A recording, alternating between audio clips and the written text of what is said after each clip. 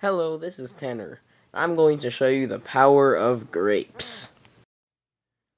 Now I built this cell, and how it works is it changes the chemical energy of grapes into electrical energy.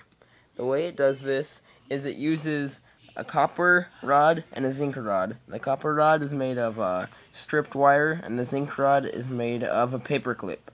Now, each of these little squares, which has a copper and zinc rod, each of those squares is connected in series, which goes to my voltmeter over here.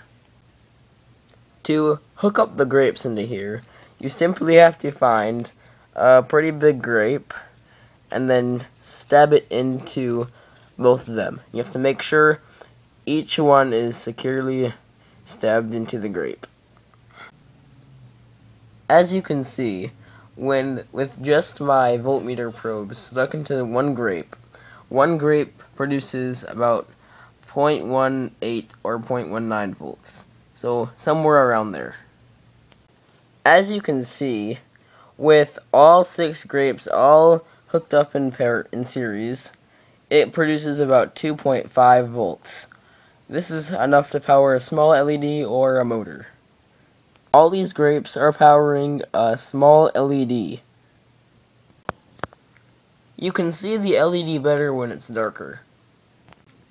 This is the power of grapes.